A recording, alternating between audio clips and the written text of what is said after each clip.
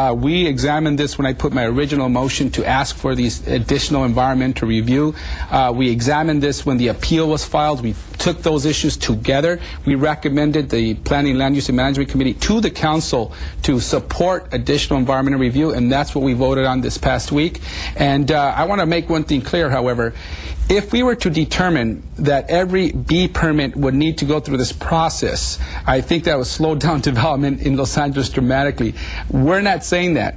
There is case law that determines when a B permit should be take this process that we took, and uh, that's when additional discretionary review uh, is being made. And so this was a very unique case. It's not typical, and uh, we're doing the right thing by saying let's not just close our eyes, allow this to move forward, when in fact we haven't done our proper environmental review. So now apparently there will be a supplemental environmental environmental impact report. Who pays for that? Who conducts it? And how long would it take? Well, in fact, the city has ordered that the developer do the additional environmental review. Uh, however, the developer has decided to sue the city.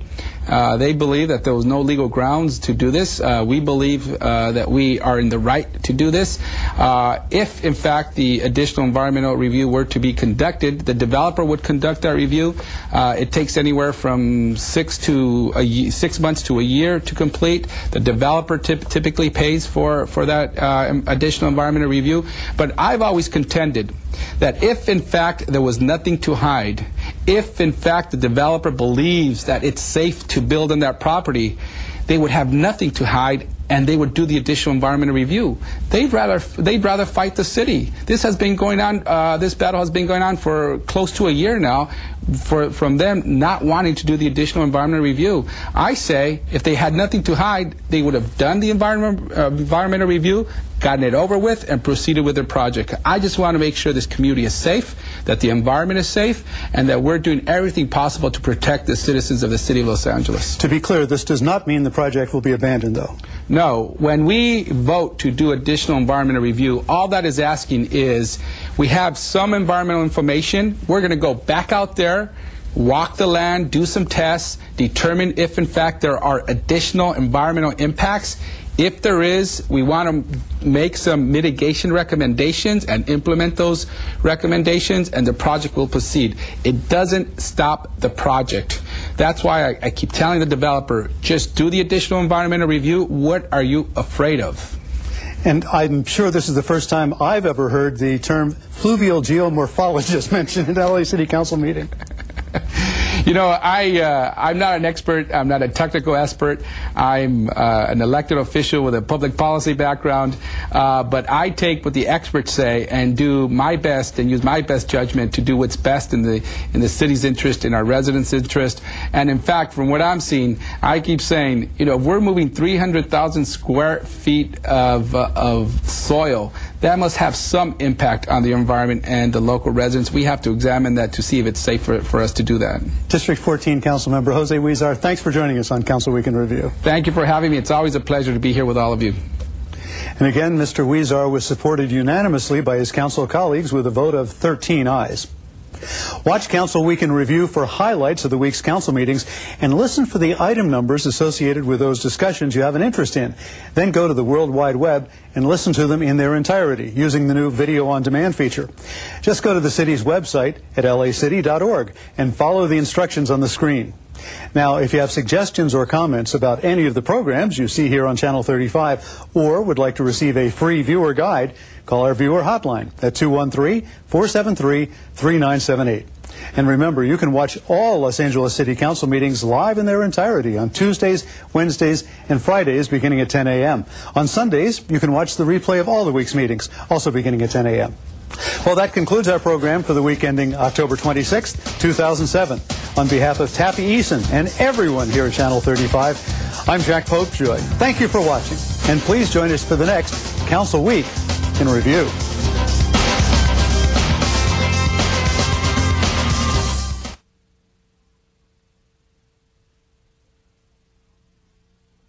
I'm Los Angeles Mayor Antonio Villaraigosa, and September is Latino Heritage Month. This month, we continue to honor our rich and diverse past and highlight the work of local artists who keep Latino traditions alive and vibrant in our communities.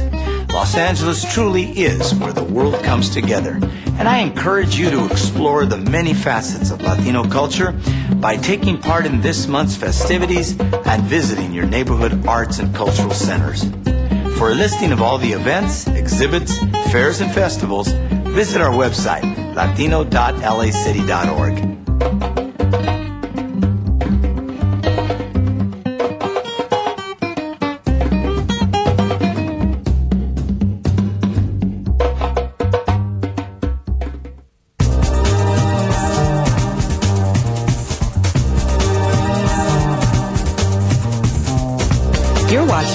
City View, Channel 35.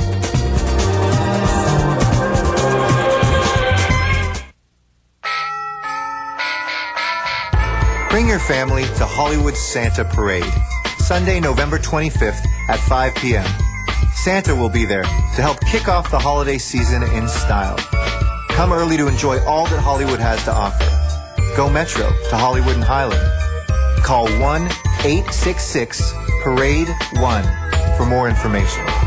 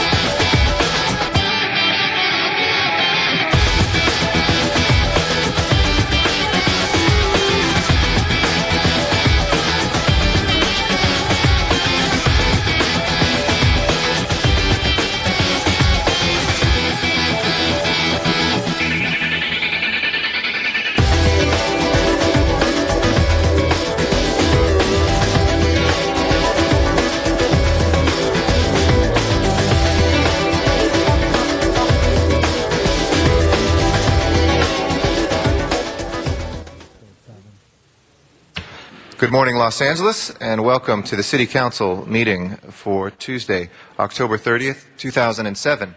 We are in the John Ferraro Council Chamber, room 340 of City Hall, where we meet every Tuesday, Wednesday, and Friday at 10 a.m., uh, except for the first Friday of the month, in which we meet down at Van Nuys uh, City Hall. I want to welcome the City Council members who are here pursuant to Council rules on time. Uh, Council members Cardenas, Greuel, LaBonge, Rosendahl, Smith, and Wesson.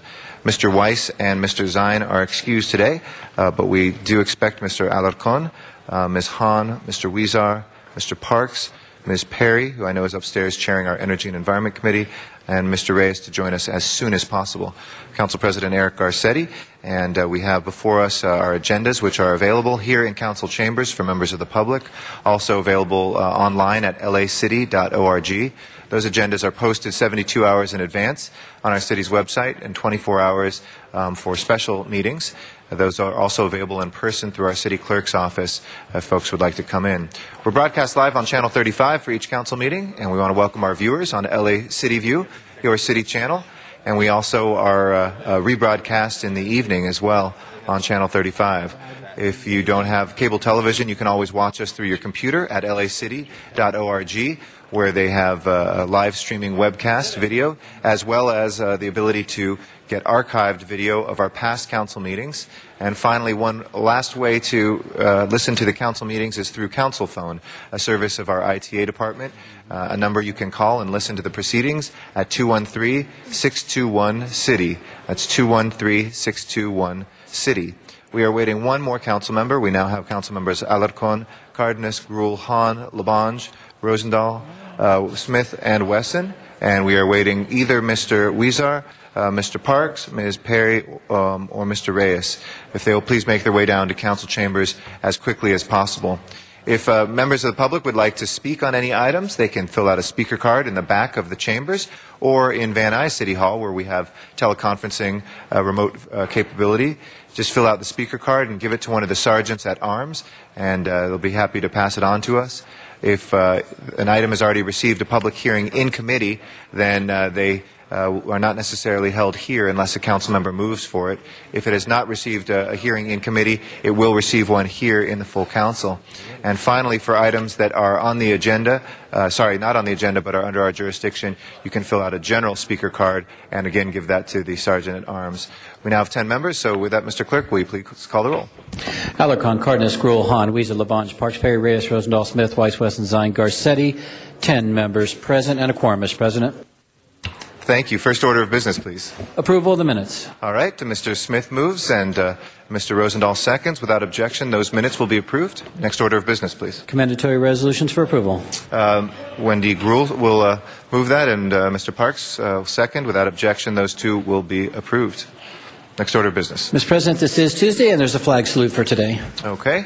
Uh, Mr. Huizar, would you be kind enough to lead us in the Pledge of Allegiance? If I can ask everybody in council chambers to please rise for salute to the flag. Thank you very much, Mr. President. Put your hand over your heart. Ready, begin.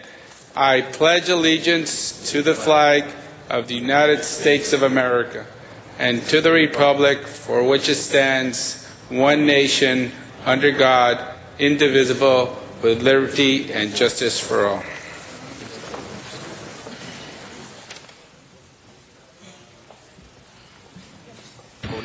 Um, and uh, if we can run through the agenda, please.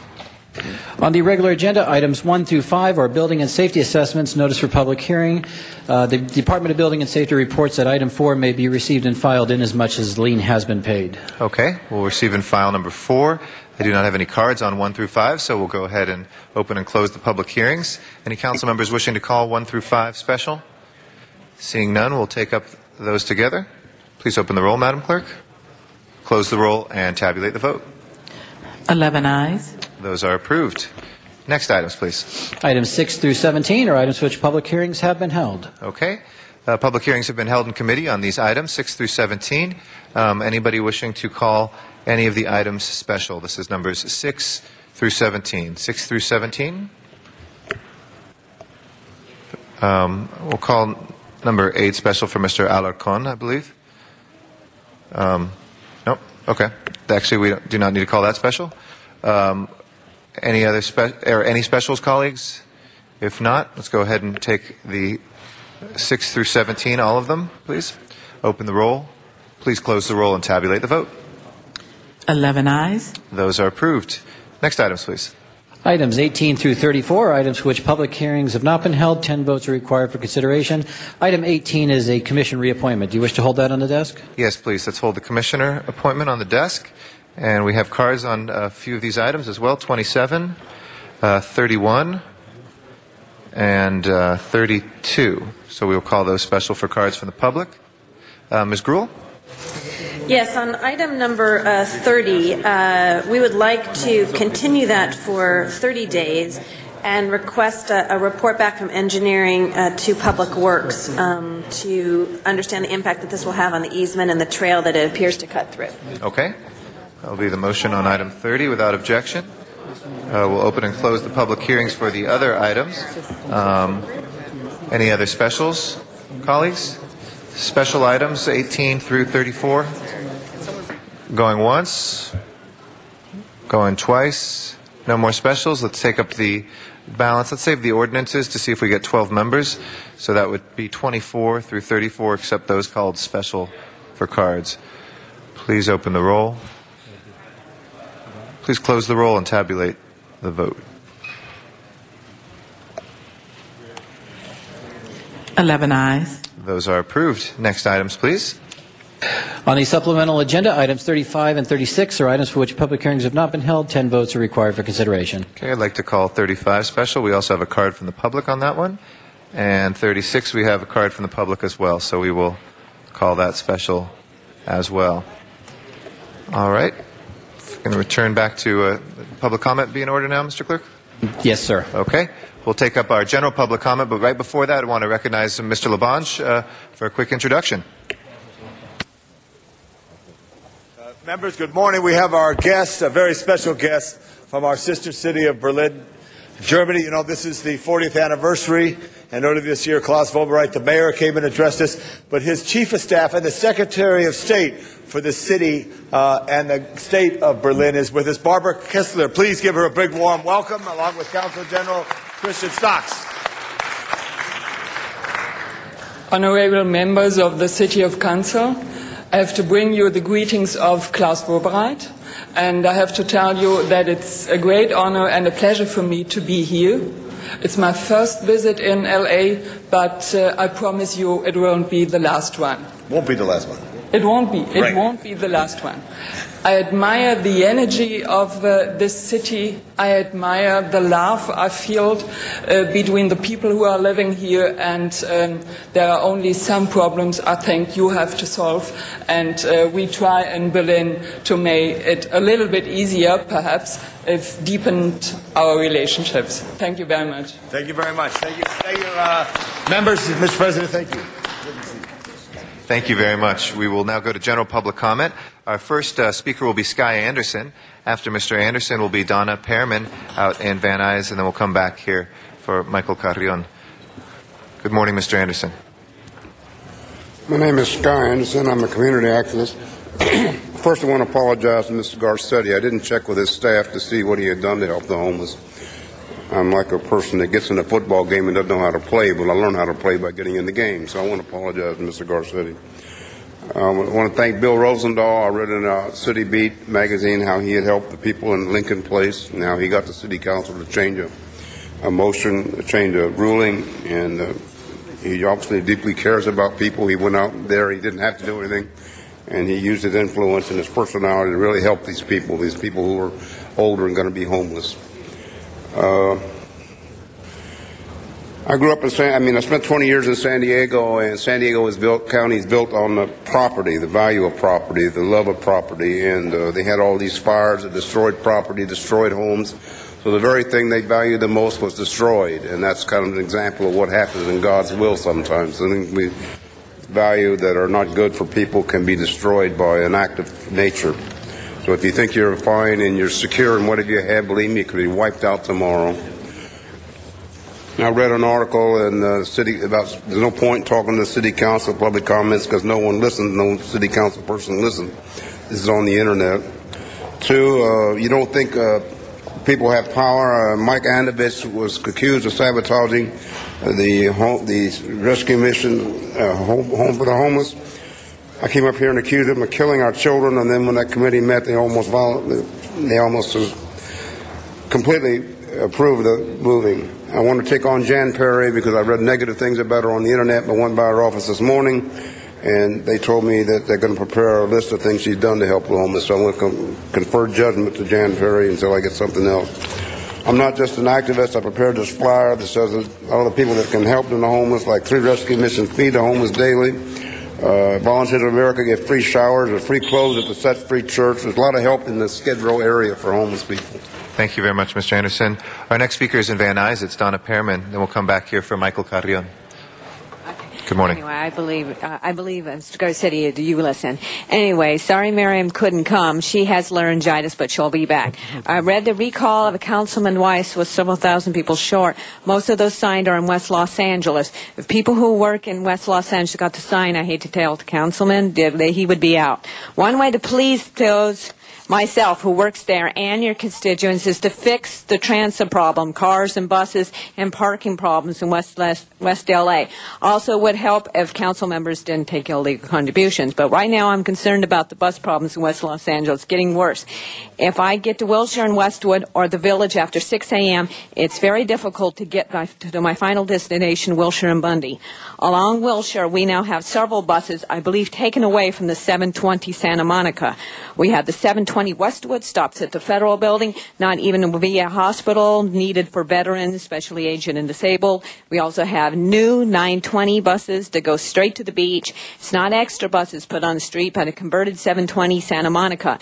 When I get them, people are crowding on. The bus driver has to yell at us to move back, and people are yelling at each other, and 920 glides along with a minimum of people. Number 20, Santa Monica's on the other side of the street. It runs even more sporadic. You have to decide which bus beforehand, which bus you want beforehand. Once you commit, you can't make it to the other bus if it comes first. They should be both be on the same side of the street, Wilshire and Westwood. Put local 20 beginning on the beginning of the street and 720 in the middle of the street. We don't need a subway to the sea. Many are going, many are not going that far. It'll be worse for people taking cars. Remember, council members, you take a car most of the time, especially when you have several places to go. City employees are not being fairly paid. Costs are higher than the cost of living increase. With more taxes added, it's almost no increase. We need our teachers, firefighters, police, sewer workers, anything affecting the, also I want to tell people anything affecting the property owners affects the renters. So don't vote for new taxes. Thank you, Ms. Pearman. Our next speaker is Michael Carrion. Would you like to, Mr. Carrion, would you like to go now or would you like to wait? I can call you in a speaker or two if you'd like. Okay. After that will be Michael Hunt, and after that, um, Matthew Dowd. Yes, Good morning. My name is Michael Carrion. I don't know if every one of you has got this. This is a memo that was sent out to Mr. Rosenthal on February 14. Uh, can I get your attention, please? Yes, sir. This is uh, one of the mayor's pet projects is a million tree. Uh, I went to each one of your offices and asked, how are we going to fund the maintenance on these trees? And every one of your offices says, I don't know. We don't have an answer for this. I don't know where the mayor got this idea. It's a great idea on paper, but we can't fix the trees we have. The letter, um, this memo states that our trees are not being trimmed, but every 10 to 15 years. I'll bet you the trees in your house aren't trimmed every 10 to 15 years. The branches are falling on people's cars. And the city states we had no prior knowledge. Yet, Mr. Robinson, the director, states in this memo that he's aware of the lack of tree trimming, the lack of maintenance.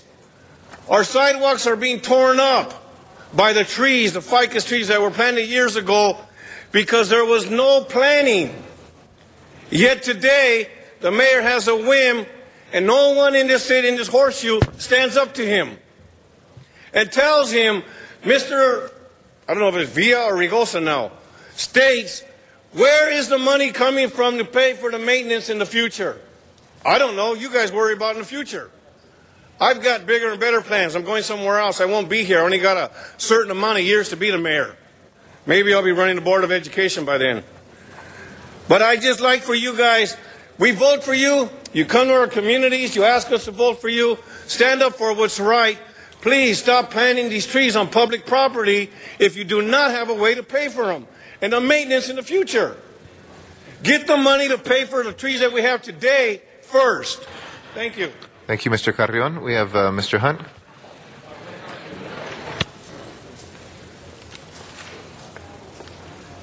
Good morning. Could I have a sergeant of arms, somebody to disperse the, pa- the paperwork? Okay.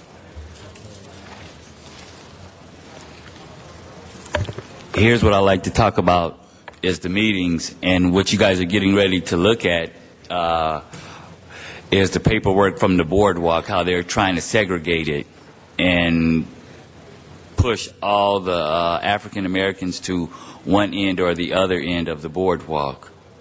Um, once you guys get this map of, of what's going on, you guys will then understand. And we're trying to clarify that we want the sections uh, interspersed, uh, and we really want to close the deal out. Uh, I think that you guys really ought to take a hand in this and pay attention to what the city attorney's office is trying to do. We brought you guys the truth. We will continue to bring you the you guys the truth. It's illegal what they were doing. It's illegal what they're trying to do. And if you think that I'm gonna let them segregate the boardwalk, you have a different. I mean, you're gonna have a different fight in federal court, and you're gonna end up getting sued again. Um, on that note, you know, we just really want to keep it real with you guys and keep it honest. Um, I I think it's going to be a difficult time for the city to to find somebody that really is going to take on Steve Rohde if we decide to go into trial. That makes a, a great great difference. Our attorney, um, it's a little bit better than what the average people have, and we're ready to fight either way. But please, please, please, uh, that boardwalk will not be segregated at, at any time or any point as long as I'm living. Uh, thank you guys and have a good day. Uh, Mr. Dowd is our last speaker for public comment.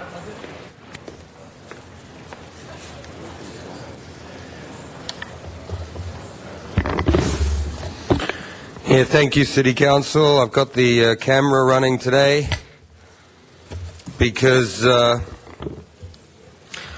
because I want to talk about the uh, the latest 4215, which says right in the findings and purpose that Venice Beach is a major tourist attraction in the city of Los Angeles, historically significant for its performance and visual artists as well as free speech advocates. And they're making the whole boardwalk a free speech zone now, a, a political speech, and you're only allowed to sell CDs or political buttons. So I'm going to go into the political button business. I went down the boardwalk and just thought I'd get some ideas, you know, and I, I bought these, and the judge says this is what's legal. Stuff like fuck high prices, McShit. Fuck that shit. Excuse me, sir. Sir, I would ask you respectfully to use other language while you're here. You know we've gone through this and you have the right certainly to use that, but I would ask you in strongest terms. Uh, we have all sorts of people who come to these chambers, and out of respect, if you would please change the tone of those words. And if you become offensive or threatening or directly insulting, we have the policy right there on the um, podium about what we expect. Please continue. Are you taking all my time? You're going to reset the clock? I thought I had two Please go. minutes. I'll Because we did have the. ACLU attorney and said it was the, the only the behaviour. So obviously you've got a rule here. See, I mean, this is political speech. This is a political forum, and this one says you're cordially invited to go fuck yourself. Sir, I'm going to give you a second warning, please. Mr. Alarcon? This is broadcast. Mr. President- Mr. City Attorney? If, if the, the council could find that he's disrupting the meeting, and also if it is uh, uh, offensive uh, speech, he can be told to stop. I'm riding on the edge. Sir, we let you say, say those things. We, we appreciate your comments, you have the ability to do that. Um, and now we'll have our final speaker, Merv Evans, as our last speaker here. And, and for the record, he has been warned. Ladies and gentlemen of the council, it's good to see you again. Merv Evans. I've sent a letter to the vice president and our mayor that we need to do more for our homeless veterans. We need public policies that protect our homeless veterans and aggressive outreach to serve our homeless veterans. And if you think we have a homeless problem now, project out to 24, 18 months. Let me share with you that I believe that the police commission should stop impounding automobiles because that is just simply the last resort. That we should stop issuing citations to our homeless citizens for sleeping in an auto. That we need an emergency Section 8 program for our veterans. And of course, we need to stop 1B visa applications for non-agricultural workers when a veteran is available for that job. Now, the city of Los Angeles has a responsibility not to follow, but to lead. And this council has exceptional talent on it. Therefore, I know we can do better by our veterans and that you care about our veterans too, especially our homeless ones. Merv Evans, your friend, I'm counting on you. Thank you very much, Mr. Evans. Appreciate your comments today. That closes our general public comment. Um, we, if we can take up the ordinances and then we'll have one to reconsider now that we have 12 members, that's 19 through 23. Uh, if we can please open the roll, close the roll, and tabulate the vote.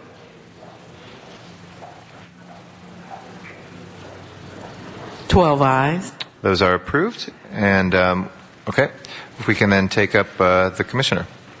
That is item 18. Is that, that is the reappointment of Mr. Martin Cooper to the Quality and Productivity Commission. Okay. Mr. Cooper, if you'd like to come forward. Thank you for your patience this morning, and uh, that came through our uh, Personnel Committee, correct? Actually, that was waived out of the Audits Committee. It was waived out of audits, okay. Why don't you come forward to the table, Mr. Cooper? And um, want to thank you for putting yourself forward for service. And uh, if, you, if, there's anything you'd like to tell the council at this time, uh, please, the uh, yes, podium is yours. Councilman Garcetti. Uh, being passed out to you now is a two-year plan of action for the Quality and Productivity Commission. Uh, the mayor appointed me to this commission, and you all uh, voted for my appointment two years ago, and uh, this is for a reappointment. And I wrote this two-year strategic plan, which has four elements to it, and uh, our commission voted unanimously to utilize this as our blueprint for moving forward, and I'd be happy to uh, discuss it in any detail anyone would like or respond to any questions.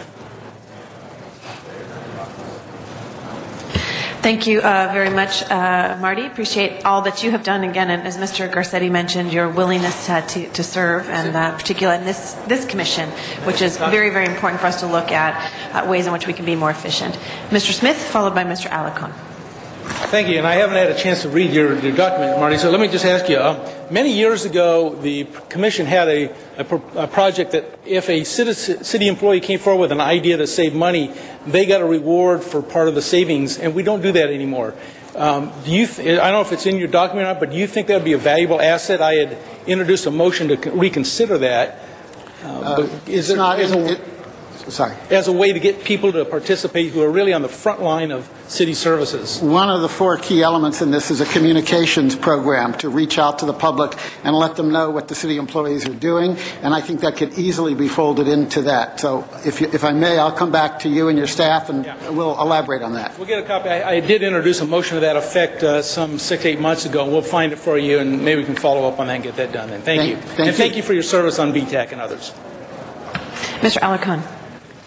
We go back a lot of years, and I know that this has been a theme of yours long before you were a commissioner, and so and I want to thank you for that commitment. But very briefly, can you describe, because I, am I'm, I'm back on the block, a new kid on the block, so if you could uh, describe what, what some of the uh, qualitative and productivity improvements that the commission has, uh, has made.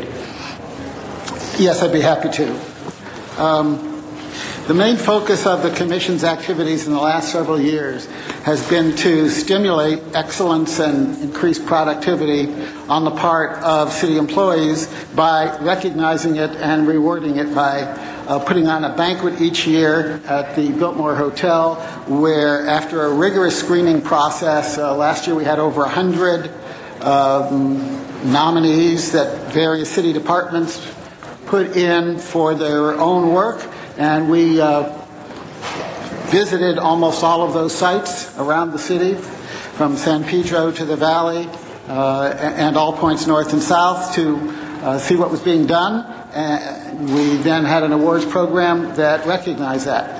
This year we want to continue to do that, and we want to expand upon that by some of the other items that are in this document that you're getting, Councilman Alarcon, uh, including, as I said to Councilman Smith, uh, improving the two-way communication between the city and its employees, and also, and, and we know very much that uh, budgetary issues are in front of you. So one of the things that we want to look at is the applicability of past honored programs for future use in other departments and other places as a means of saving money.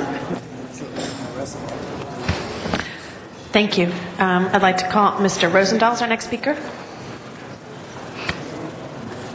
Good morning. Morning. For those who don't understand this commission, would you give us an explanation of the mission of this commission? Sure. It sounds like the beginning of a song, the mission of the commission. Yes, indeed, it is. Because Uh, we like the song you sing for all of us, to be honest with you. Uh, the, the mission of the Quality and Productivity Commission is to uh, and expand and enhance the work of city employees so that it is more cost effective, so that the citizens of Los Angeles achieve more bang for their buck, and that they are recognized for so achieving that. Hmm, it's beautiful. Now, we just went through the budget process yesterday, sort of peek preview of our deficit we presently have, structural deficit that we have, and all the issues of all the departments. It was a five hour session. It was great. The public could connect with it and they could understand what's going on. How do you see yourself interacting with the budget? Um, on the first page of this document that you either have or will be handed, uh, the first issue that we talk about is the budget. An immediate shortfall of $75 million in its reserve fund, which provides liquidity to the city's fiscal system, has led the council to restrict all non-essential expenditures until further notice. So clearly we're aware of it. Yeah. One of the things that we want to focus in on is how can we take the programs that are utilized throughout this city by various departments, look at them and say, what's here that's applicable to other departments to save money? And there are a lot of them. And the staff has been working with us to begin that process. Over the years, we have probably recognized over 100 cost savings, efficiency enhancing programs. And the goal is to look at every one of them, see what can be applied to what other programs, and to work with the general managers to bring those to them. I've spoken myself to a couple of general managers, asked them to attend one of our commission meetings and discuss with us areas where they save money and enhance productivity and what their thoughts are and how that can be applied citywide. Very good. I don't think most people know this, but our budget is 6.7 billion, uh, of which most of it's fixed. We have 40,000 employees that get a huge chunk of the basic budget, and it's just passed on. We basically here as a council uh, can deal with 300 million of it in policy decision making, but basically it's fixed. And it's 40,000 employees. Have you ever taken a deep breath and a look at, at the 20,000 that in police and fire? And maybe sunsetting some of these jobs, restructuring some of these jobs. Because I know how bureaucracy works. You create a slot, it never goes away even 20 years later. Uh, do you take a look at that? It's almost like a zero based budgeting, but it's basically looking at the functions and looking at the personnel in the functions and saying, it's time we eliminated this. We're not doing this anymore. Um, are they looking at those kinds of people efficiencies, job classification efficiencies? Uh, Councilman, I'm not sure whether that is within the purview of this commission, but I will find out, and obviously we would work closely with the AGE to see if that can be looked at, and we will. Because it's very important from my end, and also when we talk about the structural deficit, in part, it's retirement benefits and health care issues. I wish there's a way in which you could look at the health care issues, because frankly, if I had my way, since we see no leadership in this country, that maybe the city of Los Angeles could create a health care policy for the 4 million people in the city that we could then administer it and turn around and save some money. Because if the feds can't do it, state can't do it, somebody's got to get a handle on health care. Is that an area that you could look at for us? Yes, it is. Great. Well, thank you, and thanks for stepping to the plate. Appreciate it. Thank you, Madam President. Thank you, uh, Mr. Rosendahl. Thank you, uh, Mr. Cooper. With that, Madam Clerk, please open the roll, close the roll, tabulate the votes. 12 eyes. You've been approved. Congratulations. Next item. Item 27, called special for a card from the public. We could go out to the Valley to Donna Pearman. Miss Pearman? Miss Pearman? Yeah, honey. okay, I like to speak. Sorry, I like right. to speak again. Uh, okay, thank you. I like to speak against these again. These are a whole bunch of new fa- fee waivers. Uh, I see one over here is environmental media awards, four thousand one hundred forty-four. San Cecilia Festival, four thousand four hundred sixteen. I'm sorry, I'm speaking right now. Okay, I, I can't. I can't do it. Okay, make it quick. Yeah, Miss Pearman. Okay, I, I got it. I'll talk to you in a minute. Okay, uh, Veterans Day street scene is awfully high at 21,130. A youth concert at 300, 778. Several that will be paid back.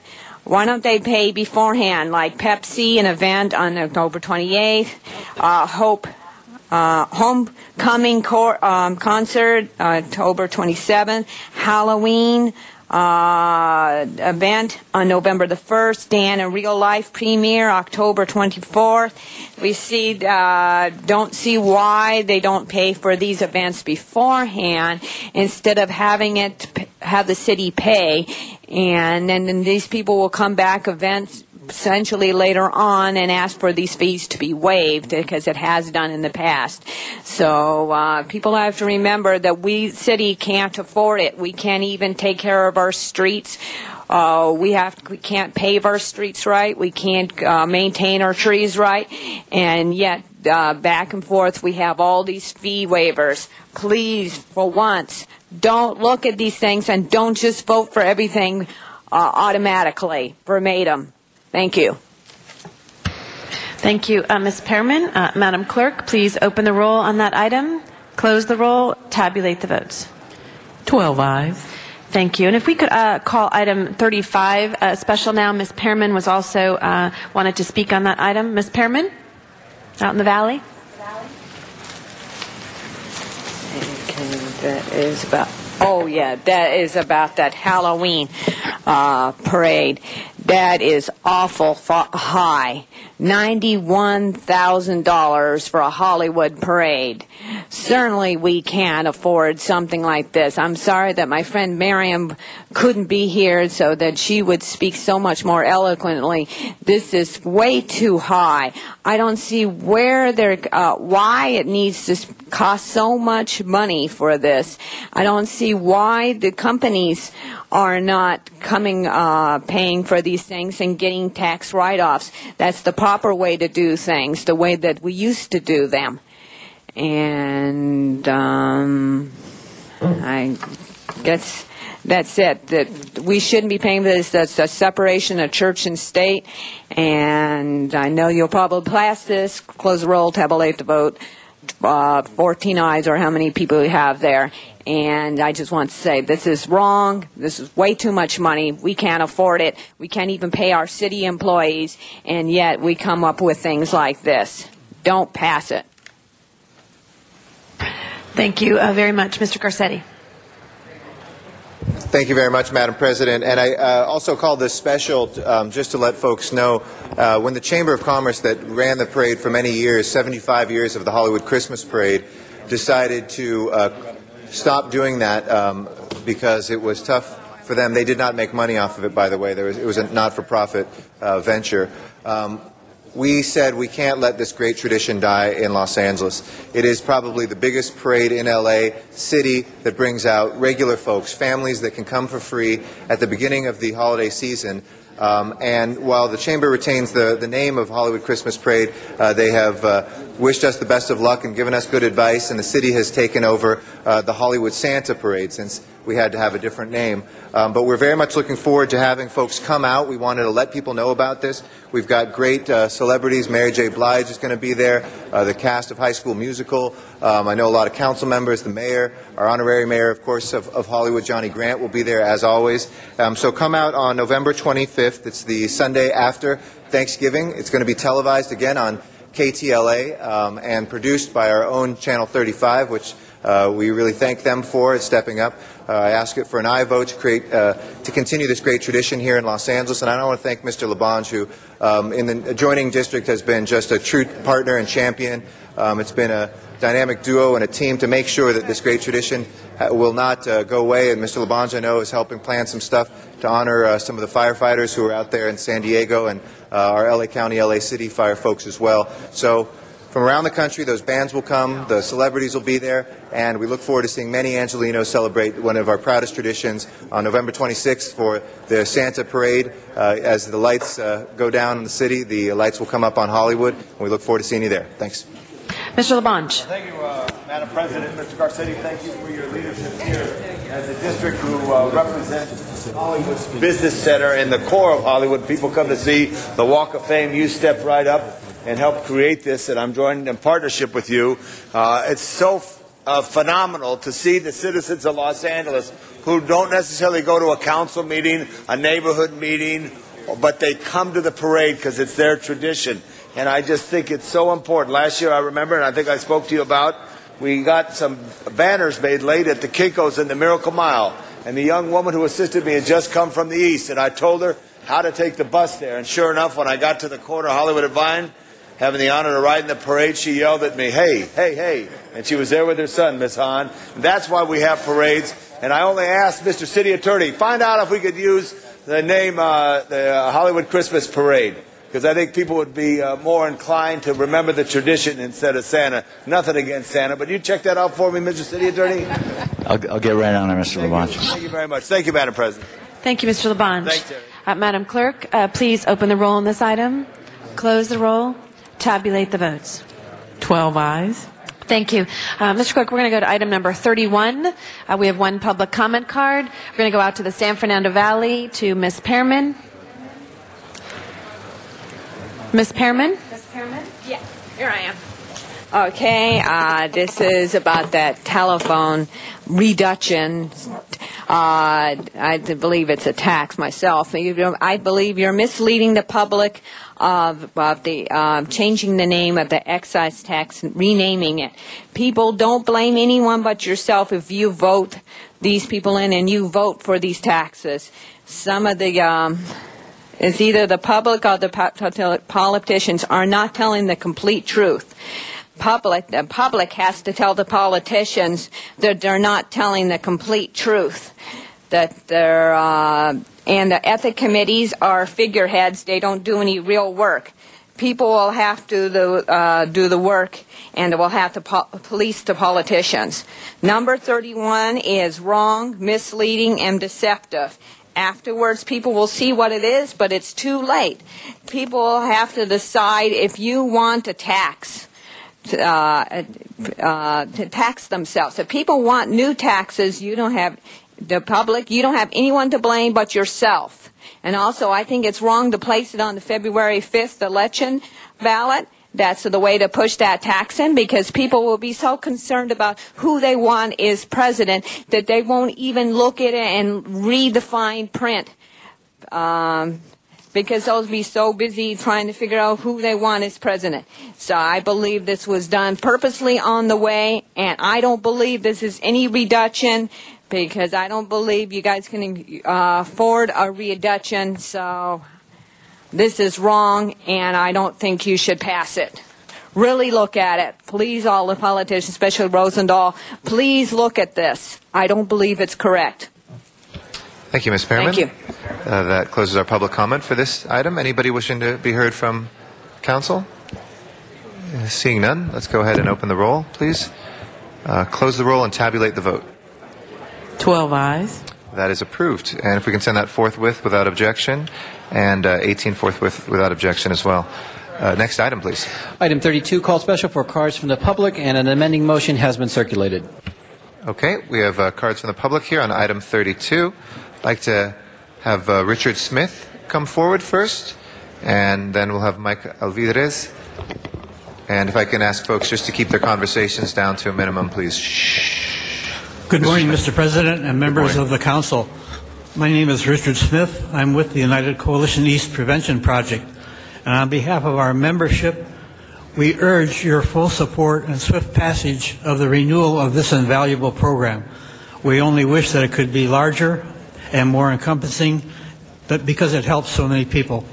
Thank you very much. Thank you very much. Uh, Mike Alvidrez?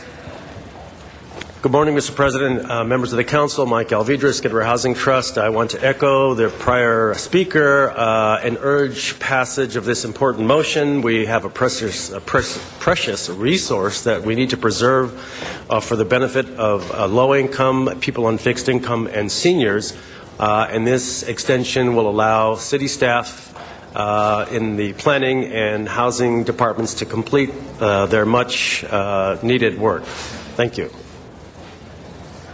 Thank you very much. That will close our general public comment, and uh, Ms. Perry is on the speaker queue. I'd like to recognize Ms. Perry at this time. Oh, sorry. Okay. That's okay. I was, sorry, I was temporarily uh, dazzled by Mr. LaBonge's comments. Uh, I just just like to uh, you- have we we haven't had all the speakers yet, so I'm willing to We- let we that did. go. Yeah, let's just go that go through No. that, and then I'll. No, we, we had both of them. All right. Well, then I'll call the question. Just want to vote. Okay, great. Thank you very much, Ms. Perry. With that, let's go ahead and open the roll. And please close the roll to tabulate the vote. 12 eyes. That is approved.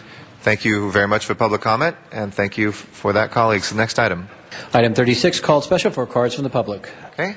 Item 36, Ms. Hahn, did you want to speak before the cards? Okay, Ms. Hahn. President, colleagues, I just want to uh, set the stage here a little bit for um, uh, the 245 that I am calling. Um, I'm recommending that uh, we assert jurisdiction over a recent action by the Cultural Heritage Commission. On October 18th, the Commission acted to recommend uh, state historic designation for Angels Gate Park through the California Office of Historic Preservation. This designation comes uh, from an application submitted by the Fort MacArthur Military Association. The merits of this application is just one of my concerns. Um, Angels Gate Park is a part of the cultural and history of the city, uh, but nevertheless, uh, we're not sure that this is the route we want to go. And also, what really troubles me is the process um, Angels Gate Cultural Center, in cooperation with various stakeholders, including my office, the Department of Recreation and Parks, has begun a master plan process for the entire park. And while the application by the Military Association was known to this group, the Commission agendized and acted on this matter without any real community involvement. Uh, their notice, even to my office, was weak at best. There was no uh, interaction of the neighborhood council or the working group preparing the master plan for this uh, uh, this land use. Uh, even according to the military association, they're a little bit surprised uh, at the item being agendized so quickly. Um, in short, it's my opinion that the entire community was left out of this most important action by the commission. And I think that itself merits um, reconsideration. As you know, since the inclusion of neighborhood councils in the charter of the City of Los Angeles, no council, board, commission uh, is supposed to take action without making sure that they have input from the local neighborhood uh, council. Um, additionally, since uh, preparing this 245 action, uh, it's come to my attention that perhaps the Cultural Heritage Commission does not even have the authority to make such a recommendation to the state. Um, that's an action maybe uh, reserved for the council. Uh, this commission falls under the newly created Office of Historic Preservation in the Planning Department. And uh, while we, I hope I will get support to assert our jurisdiction, I'd like to hear whether or not uh, this is really, uh, according to our administrative co- code, uh, whether or not we in the city must speak with one voice when we make such a recommendation to a state um, agency. So I know there's uh, some people, I think there's about five cards uh, of people that have come down to speak on this, so maybe we can hear from them, and then I hope I'll have your support, colleagues, to assert jurisdiction of this action. Thank you. And we just had a sixth added to that list. Um, so we'll begin with Nathan uh, Birnbaum and then uh, Douglas Epperhart. We are our first two speakers. Good morning. Uh, good morning, uh, council uh, members. Thanks for the opportunity to address you. Uh, my name is Nathan Birnbaum. I'm here representing Angels Gate Cultural Center. uh, the board and the Angels Gate Master Planning Steering Committee. I'm pleased uh, to uh, be joined here by board members and members of the community. Uh, the Cultural Center has the privilege of helping to master plan Angels Gate Park uh, as a cultural destination for the people of Los Angeles. Um, we're able to do this thanks to the generous support of the Department of Recreation and Parks that has granted us a 30-year lease and funding supporters around the state. The center created a, a, steering committee with broad representation from the community in conjunction with District 15 and the Department of Recreation and Parks. Um, the importance of this property to the people of the harbor area and um, the entire LA region uh, is becoming very well known. If a single group um, can have a substantial impact on the future of this site without recourse to the steering committee or the consensus process, then the whole process uh, that Angels Gate Cultural Center is sponsoring of partnership with the community is in question.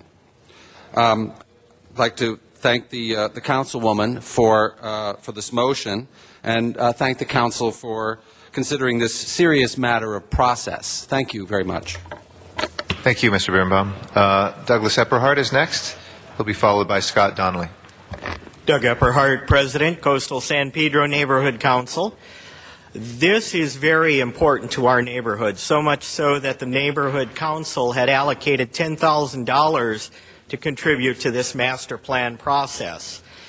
We have had public meetings, we have had much participation by the community, and we found out about this action by the Cultural Heritage Commission after the fact. This not only does not constitute early notice, as envisioned by the Charter, it constitutes no notice and is a problem, one of a few out there within city departments that definitely needs to be addressed. Uh, I urge you to support this motion. I thank the councilwoman for acting so quickly on it and giving us notice of it. And uh, I look forward to a positive result. Thank you all very much. Well, Scott Donnelly is our next speaker, and after that, uh, we'll have uh, Ray Wyman. Good morning, council members. I'm Scott Donnelly. I'm the president of Angels Gate Cultural Center, a nonprofit organization. I just wanted to let you know exactly who we are. We're one of the largest tenants on the property. Uh, our buildings uh, have galleries, artist studios, we have children's education programs, we have adult education programs, we have dance classes, we have neighborhood council meetings. A lot of organizations use that property, and we have quite a few buildings that we share with the community. Uh, we would like to have more time to address the issue of what's being presented with respect to the preservation since we have such a large amount of, of the buildings on the property. Thank you.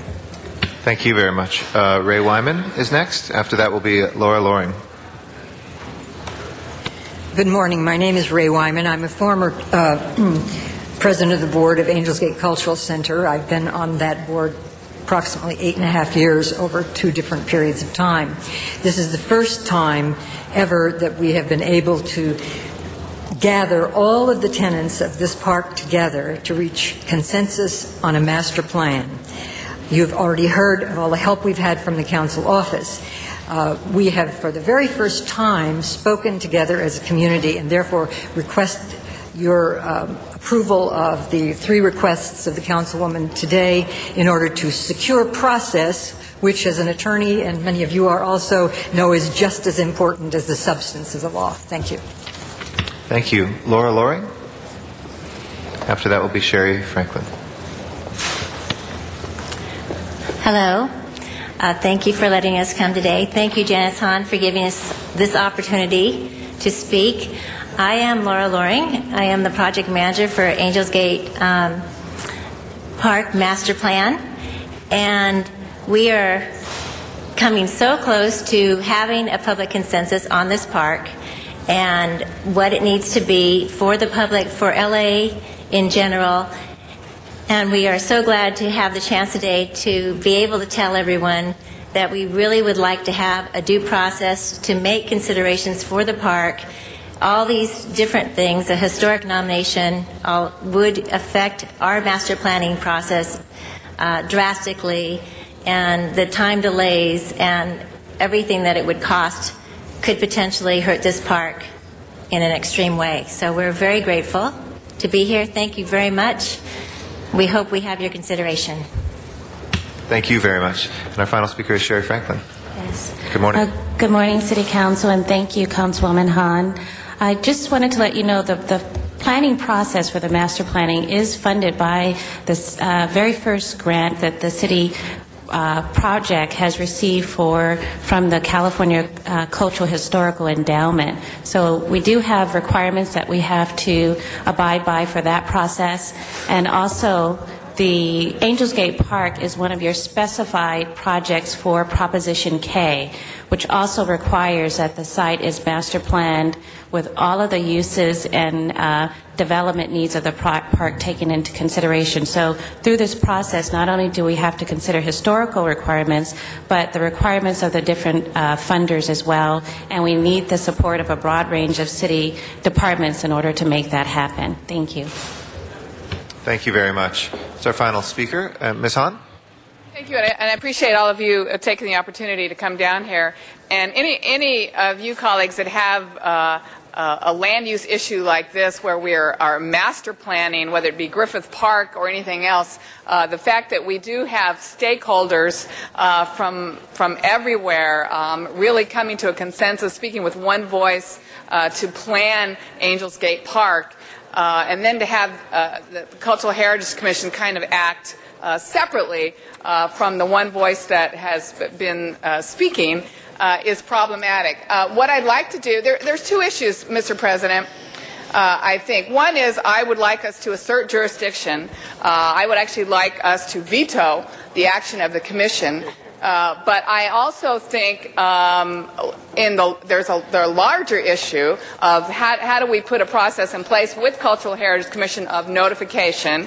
Uh, but also there's the issue that uh, I'm sorry, Ms. CLA brought we, me. we have about 15 conversations happening over on this know, side, really. and, and I'd like to be respectful, Thank Ms. Hahn. If we could move the conversations either and they're all out, behind me. out of the chambers or if So, but I also have the CLA telling me that under our administrative code, no person or department affiliated with the City of Los Angeles may represent that the City of Los Angeles supports, opposes, seeks, wishes to amend, or has any position um, on policy unless such position has been adopted as a, an official position of the City of Los Angeles. So there might even be an issue that they're- don't even have the authority uh, to make this kind of recommendation on their own. So how, how should we handle this, Mr. President? Should we uh, take up the, should we assert jurisdiction?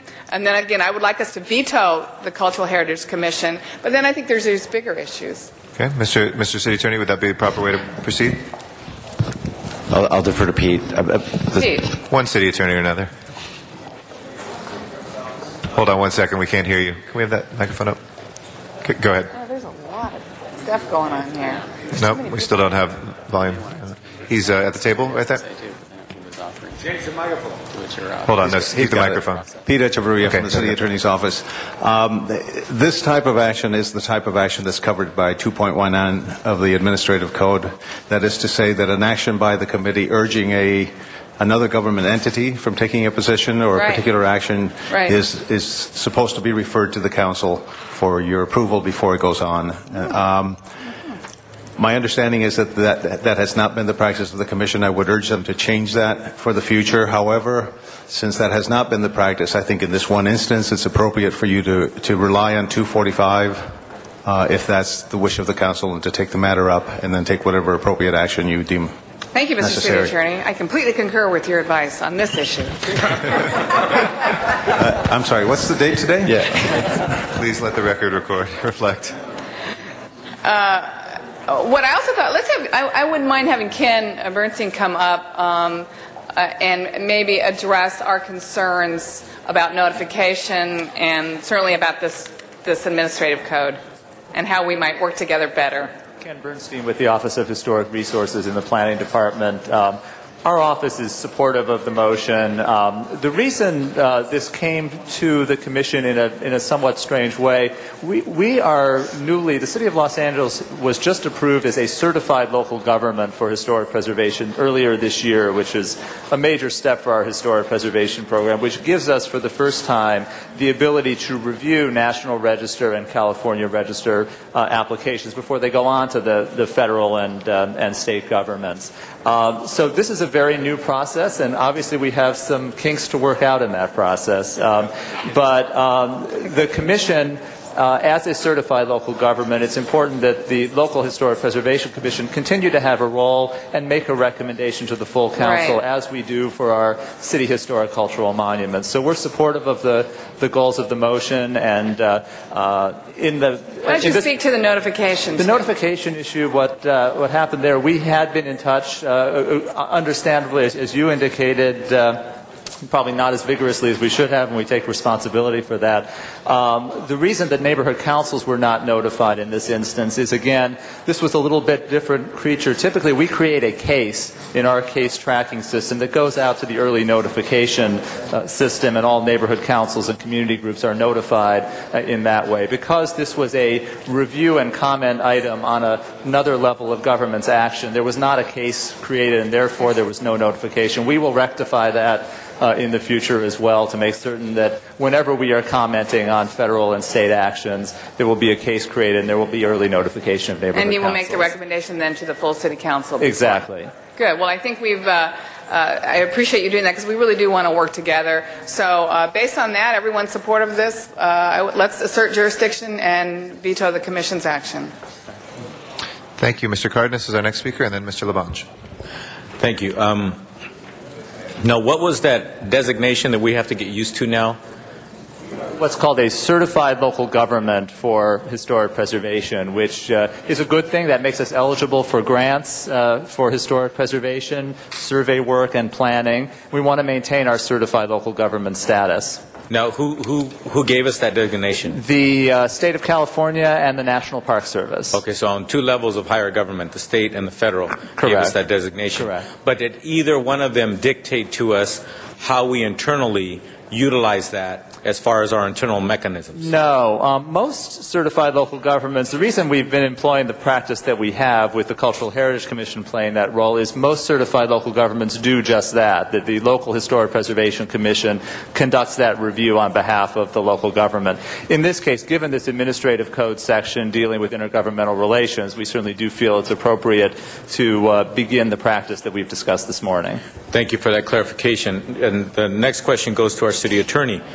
Um, although I do agree with you quite often, uh, I do agree with you today as well.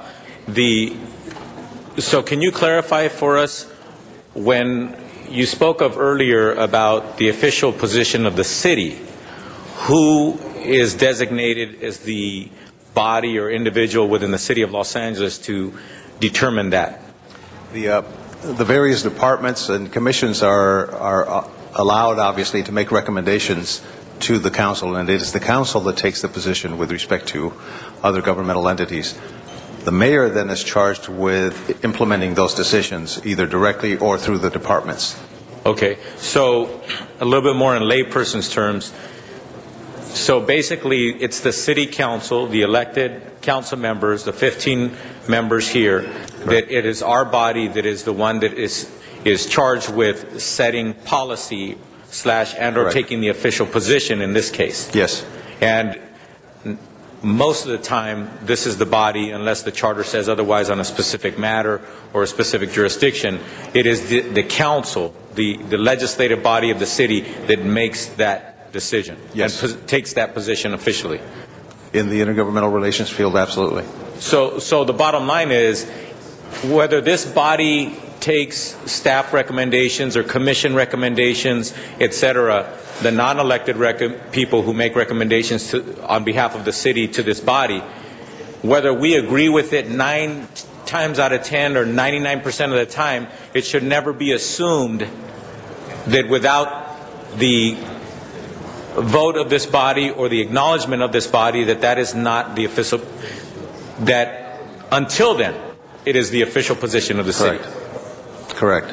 Okay, so even by custom and practice, we, we do not take positions by the city of Los Angeles. It has to come to the council, or if the council chooses not to take jurisdiction or what have you of a particular matter, then it becomes the position of the city.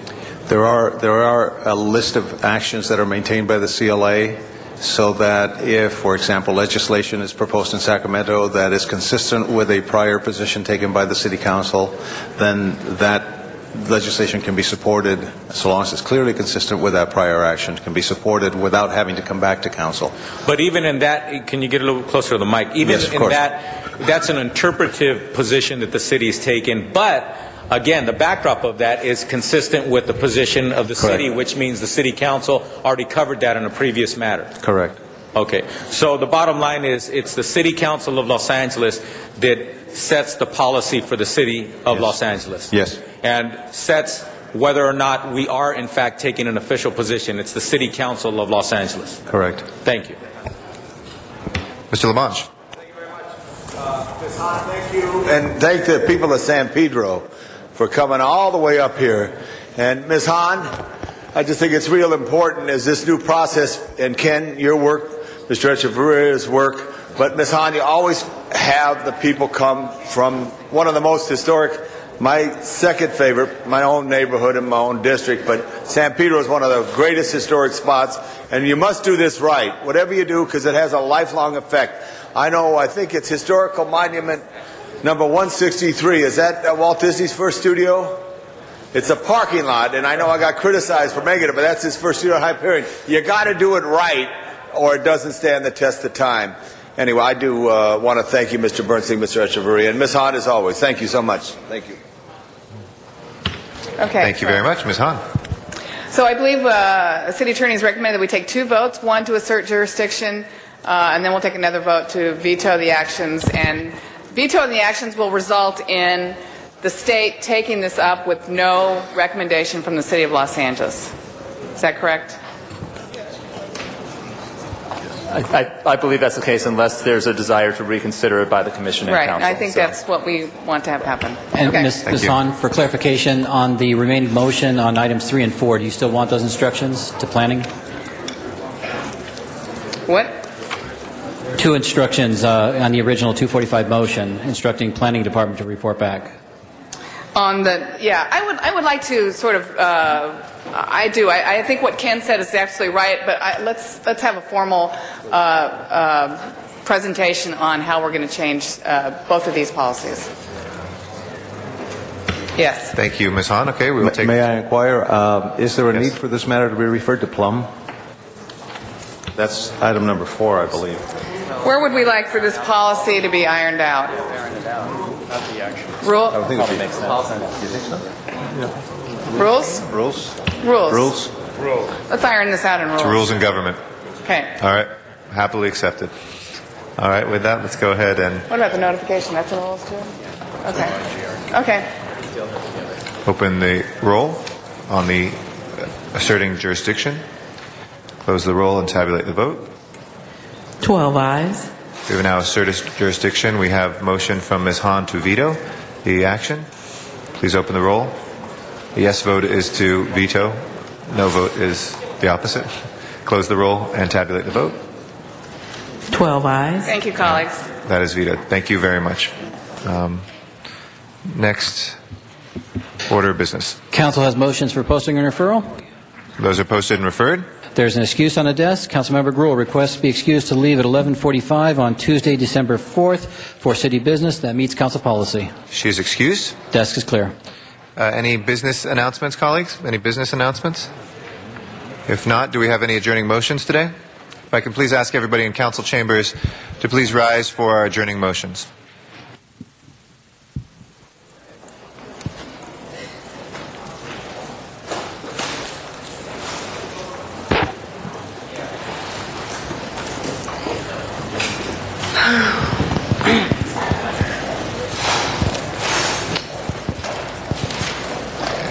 Perry? Thank you very much, Mr. President. I would like to adjourn in memory of the mother of a good friend of mine. And her mother's name was Oralia West. She passed away on October 27th. She was the beloved mother of Cecilia Nunez, who's a very active member of the 9th Council District. In her spare time, Mrs. West enjoyed listening to music, watching movies, and crocheting. This remarkable woman, who was the mother of a, another remarkable woman, will be missed but never forgotten. I would also like to adjourn in memory of Clotilde C. Odegaard, who passed away at her home on October the 14th. She was born in the 9th Council District to Constantine and Mary Castruccio on June 4th of 1922. She attended Ramona Convent Secondary School and later went on to study chemistry at the University of Southern California. She was preceded in death by her husband of 44 years, Oscar T. Odegaard, who was a finance specialist for the city's administrative office. She is survived by her eight children and 17 grandchildren, and she will be greatly missed. Thank you, Ms. Hahn. Um, uh, a, a sad development in San Pedro over the, uh, over the weekend. Um, Latarian Tasby, who was a San Pedro High School uh, football player and student known as LT, was shot and killed Saturday night at a Halloween party. He was only 17 years old. Um, LT arrived at San Pedro High School in the spring of his 10th grade year with a low GPA because of an unsettled home life. However, he worked hard, he raised his grades, he became a star athlete on both the basketball and football teams. Um, and at the party, he was just planning to stop by to wish a friend a happy birthday. Uh, apparently, according to police, uninvited guests crashed the party. A fight broke out. He was shot and killed, and four other students were injured. Um, Ironically, LT, as he was known, was called a peacemaker since joining um, a campus leadership group earlier this year. Teammates and coaches said he was fun loving, joke teller with a warm personality. He was a mediator, said John Bobich, the varsity basketball coach. If there were people arguing about something, he was the guy saying, just let it be. And the football coach, Mike Walsh, called him one of the hardest working members of the team. LT is survived by his aunt and uncle, who he lived with, Virginia and Armando uh, Villasenor, his mother, Rosemary Sneed, a sister, four brothers, including um, his twin, Darian. Very, very sad tragedy in San Pedro. Thank you. Mr. Rosendahl. Mr. President. Gloria Tate. Gloria passed away on Tuesday, October 16th, as a result of a burst blood vessel in her brain. Gloria was a long-time Venice resident. She was extremely well known and well loved throughout the community. She always had a big smile, a hug, a laugh, or an encouragement for everyone she met. She was active in her home church, the Venice Beach Fellowship, as well as the First Baptist Church in Venice. Whenever there was a community event where she could help, feeding the homeless, helping with the Vera Davis Festival, coming to Oakwood Recreation Center for meetings, Gloria was the first to arrive on the scene and the last to leave. Gloria will be dearly missed by her family, her church, and the whole community of Venice. May she rest in peace. Thank you very much. And last night we had a, a vigil for Jonathan Morales Gonzalez, 17 year old boy, a student at Hollywood High School who was stabbed to death last week um, in gang related violence. Um, he is the fourth uh, person we've had to bury in the last two months.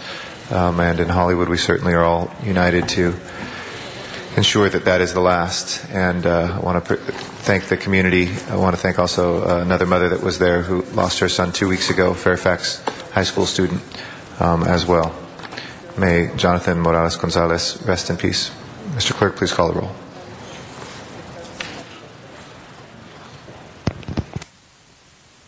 This meeting of the Los Angeles City Council is adjourned. We will next be in session tomorrow, Wednesday, October 31st, 2007, at 10 a.m. here in John Ferraro Council Chambers. We'll see you then.